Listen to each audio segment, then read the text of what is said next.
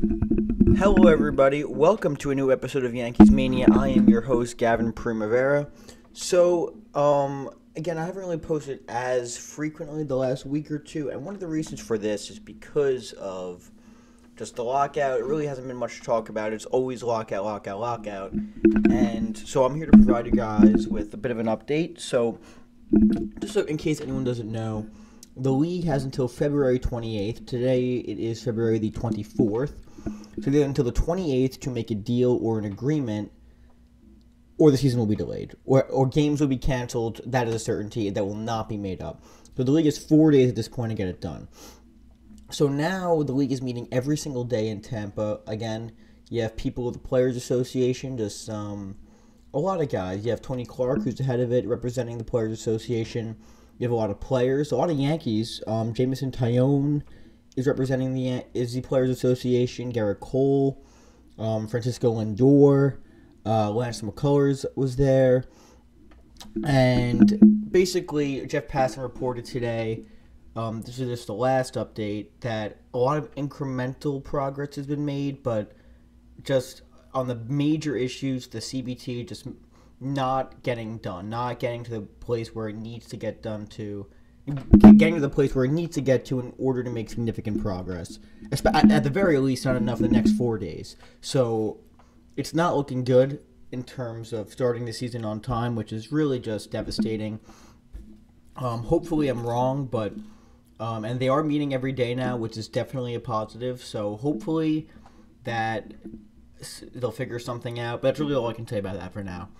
We just gotta hope that it gets done because all we really want is baseball.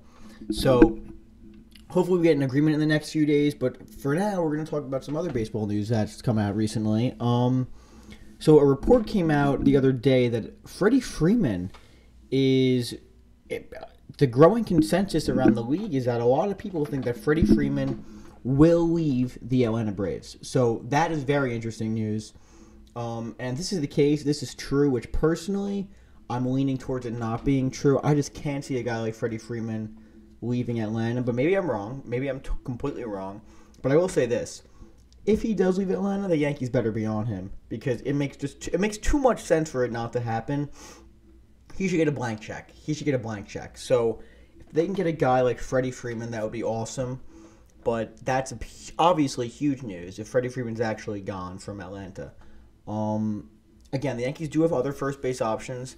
They have Voit, who I don't really know what they're going to do with him. Maybe look to trade him, even though his value is kind of low right now, which is not ideal for a player like Luke, who I I, I still think is a very good player who just had a really rough year with injuries.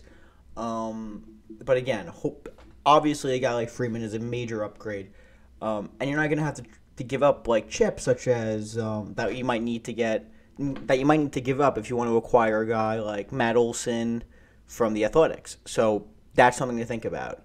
It really does come down to money. But again, this is all going to be moot if there's no agreement in the next four days. So, um, but again, another story that came out, which I thought was very interesting over the last week, was the R2C2 podcast, which is hosted by Ryan Ruocco and CC Sabathia. I gave it a listen.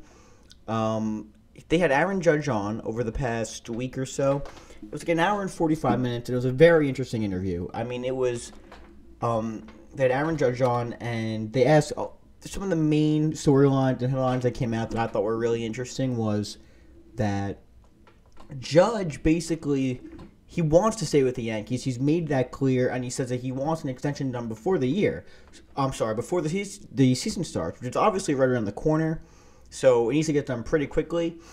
Um, but again, it's it, it's such a difficult thing because the guy is getting older.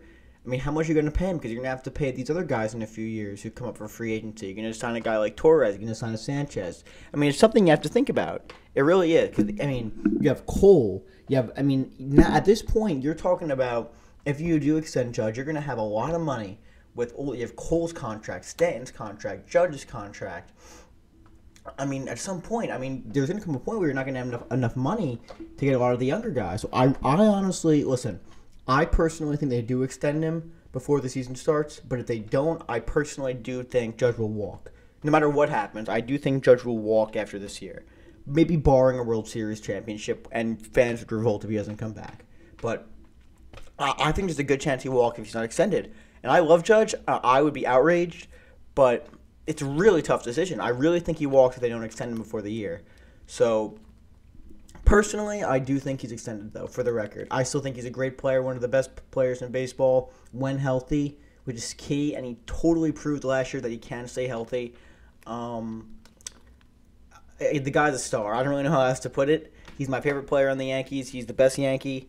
I don't even think it's remotely close, and he's the guy to go. And I will say this, though. One of the reasons why I think the Yankees might have been holding off on naming Judge captain is because – of the. I mean, not going to name a guy captain, and he's a free agent next year. It just makes it makes just makes no sense. So I think that's another thing that you can think about. So I will say this though: if Judge is extended, I think you will see him named the captain of the Yankees. You will definitely see him named the captain of the Yankees. It just makes too much sense. The guy is obviously the leader of this team, and I think you'll see that should an extension happen. Which again, I would say you're going to see him get in the ballpark around seven years 30 plus million a year annual. So again, doable, but do the Yankees want to do that? I mean, something that they're going to have to discuss internally. Um, now, uh, one thing I, I actually saw on social media was Giancarlo Stanton was working out. He looks like he slimmed up, like significantly. I mean, I'm just guessing he's probably lost like 10, 15 pounds. I mean, the guy looks slim, a lean. I mean, some people I actually talk to don't necessarily like this because they think that, oh, he's losing muscle. But I, I don't know. I think as he's getting older, it's probably a good thing that he's slimming up more, especially a guy like Stanton who's injury prone. To me personally, I thought he looked great. So, again, all going to be for naught if there's no season, but that's just something that I hope um, can be resolved. But so Stanton looks great. Again, if he's healthy again, this is what I'm saying with Stanton. If he's healthy, you could see him in the ballpark at 50 home runs next year. Him and Judge, which is why health with these guys is really just key. That's really all it is. Staying healthy because we know they have the talent. Um, now, again, as we said before with Freeman, if they sign Freeman, chances are they're not going to sign a Correa. Which is why I think they actually might sign a Freddie Freeman because they'll, they'll, get a stopgap at shortstop for a year and they'll go to Volpe at short next year or the year um, 2023. But again, it doesn't have to be a scrub. They can get a guy from Texas, Kiner-Falefa, who was at like 300 last year, 20 home runs. Again, very good player, and then you can move them around. The Yankees have options at shortstop, especially. I just don't know if they go the Correa route, considering he's also just so hated. People just don't like him, and I'm not a fan of his either. I, I, I can't stand the guy. I love him. The Yankees sign Correa, I'll be thrilled. But they have they have options. But again, until the lockout ends, it is going to be. Uh, you can just keep talking about these points, but I just want to talk about it in real time. That's all I want to happen. So I hope we can get this done. And until then, all you can do is hope. So I'll see you guys next time. Hopefully, we get a deal this week.